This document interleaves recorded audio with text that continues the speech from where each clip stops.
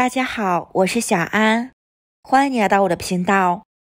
肝脏是我们人体中最大的实质性的气脏，也是最大的腺体。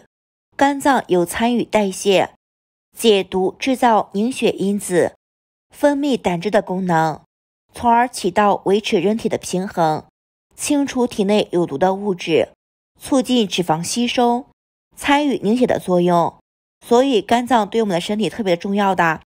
如果我们平时不加以注意，维持肝脏的健康，就会导致肝功能异常。如果肝功能异常久了，对身体的危害还是比较大的。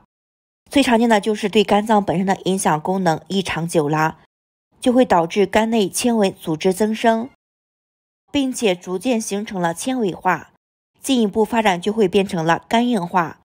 如果肝功能严重异常，对毒素的代谢能力也会下降的。如果其他的脏器功能混乱，会影响肾功能、肺部功能、脑功能等等。今天在这里给大家分享一款能够帮助肝脏排毒以及保护肝脏、促进新陈代谢、达到养肝护肝的食疗好方法。经常的食用，对于乙肝患者身体健康有特别好的帮助。我们先来准备一把葡萄干，抓洗干净。清洗葡萄干的时候，可以加入一勺面粉洗，这样洗的葡萄干特别的干净。葡萄干含有比较丰富的蛋白质、碳水化合物、脂肪、膳食纤维以及钙、铁等营养元素。葡萄干中含有较多的维生素 B 二，是肝脏中的重要辅酶，能够促使肝细胞的正常代谢，维持正常的生理功能。葡萄干泡水喝。最神奇的地方在于，它可以促进肝脏的健康。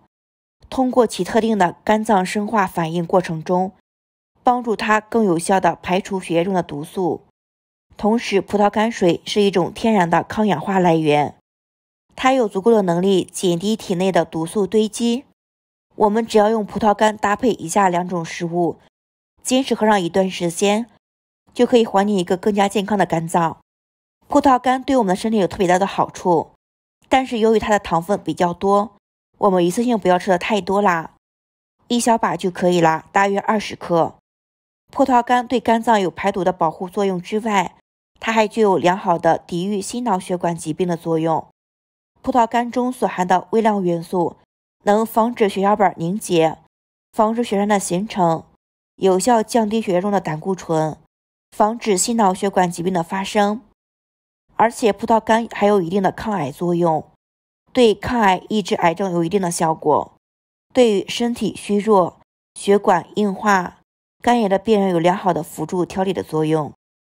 再准备十克枸杞，淘洗干净。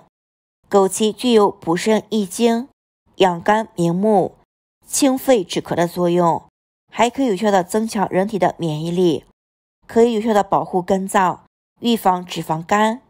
还能刺激机体的生长，对高血压的人群有一定的降血压的作用，并且枸杞水还可以帮助我们缓解疲劳，改善肾虚引起的腰膝酸软、耳鸣、眼干等症状。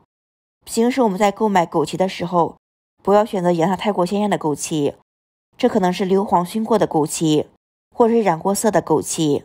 使用这种枸杞可能对我们的身体造成不利的情况。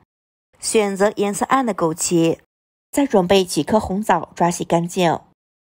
红枣在我们日常生活中特别的常见，它也是比较常用的一味中药。中医很早就把红枣开方于养肝排毒汤中。红枣具有保肝健脾、降低胆固醇、抗癌抗过敏的作用。平时多喝一些红枣水，有特别好的护肝排毒的作用。搭配葡萄干。益气护肝排毒的效果更加的翻倍啦！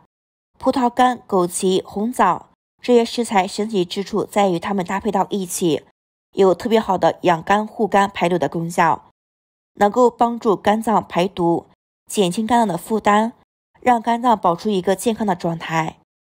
下面把我们准备好的食材倒入养生壶中，加入清水可以多来一些。我们开中小火焖煮十分钟。菜菜搭配到一起，还有一个另外的惊喜，就能够明显的降低你的血压。葡萄干茶水含有比较丰富的抗氧化剂和膳食纤维，特别是钾的含量比较高。里面的抗氧化剂也可以对抗身体的自由基的侵害，膳食纤维也可以降低血管硬化的危险，从而达到降低血压的作用。红枣搭配三者混合，可以抑制体内黑色素的沉淀，去除晒斑、色斑、黄褐斑、老年斑，达到美容养颜的效果。而且能够扩张血管，预防动脉硬化、冠心病、心绞痛等等。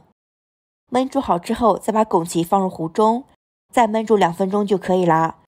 枸杞一定不要提前加入，加入比较少的话，营养价值会流失，口感也不是很好的。焖煮好就可以倒入杯中直接喝啦。葡萄干茶水最好放在晚上喝，这样可以更好的静养肝脏，得到很好的排毒。可以帮助我们软化血管，降低血压，美容又养颜，延缓衰老，淡化色斑，好处真的是特别的多，比吃任何的补药都要补。需要提醒大家的是，葡萄干含有比较多的糖分，如果是糖尿病患者，最好少吃一些。知道葡萄干茶水虽然好处很多，但是不要大量的食用，食用过量会起到反的作用，并且工作的时候经常对着电脑、手机。用眼过度的人群也可以喝得到茶水的，能够帮助我们缓解眼部疲劳，特别是对于老花眼有很好的改善作用。如果您有干眼、肝硬化、脂肪肝、肝脏处于亚健康的状态，一定要把这套茶水收藏起来试一试。连续喝上七天的时间，我们的肝脏就会恢复一个比较健康的状态，肝脏毒素就会排出来，对我们身体的好处真的是特别的多。日常生活中一定要保护好我们的肝脏。心情愉悦、抑郁、愤怒是损伤肝脏的重要原因。情绪不稳定，日久容易引起肝病的，所以一定要自我调节，做到心平气和。戒烟戒酒，酒精是肝脏的克星，长期大量的饮酒，酒精会损伤肝脏的，导致酒精肝。肝病患者。饮酒会情况加重的，甚至恶化。香烟中有毒物质不仅会损伤肺、心、脑，一定不要暴饮暴食，饿一顿饥一顿的，这样都会加重肝脏的负担。要做到饮食有规律，不能过量的食用脂肪高的食物。好了，家人朋友们，今天的视频就分享到这里啦。如果觉得我的视频对你有所帮助，请帮我点赞、关注、订阅我的频道，欢迎下方留言加一。